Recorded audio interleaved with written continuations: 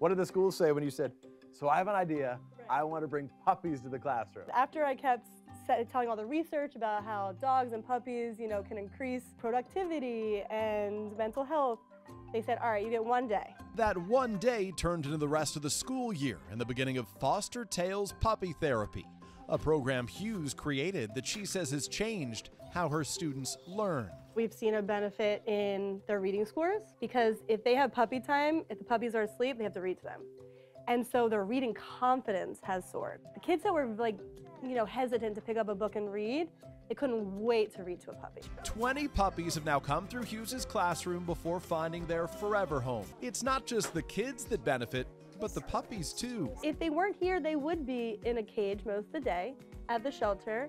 Socialization for the puppies. Oh, yeah. Learning for the kids. Yep. Who wouldn't want to learn like this?